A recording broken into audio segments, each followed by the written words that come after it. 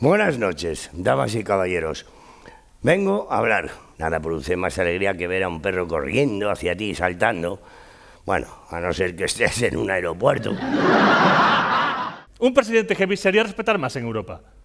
O sea, ¿tú crees que un heavy le va a aguantar esa mierda a Angela Merkel? No. ¿Que tenemos que hacer qué? ¡Bunda! Te reviento, gorda. Un polvo de esos que si Dios lo viera desde el cielo diría, joder, si llego a saber que esto es posible, por los cojones me disfrazo de paloma. Prometo que nunca habrá otras mujeres en mi vida. No, no, no, y que si las hubiera, por supuesto, pues puedes estar segura de que haré todo lo posible para que nunca te enteres. Muchos se creen que como soy famoso, tengo una vida de puta madre. Y es verdad, ¿qué coño?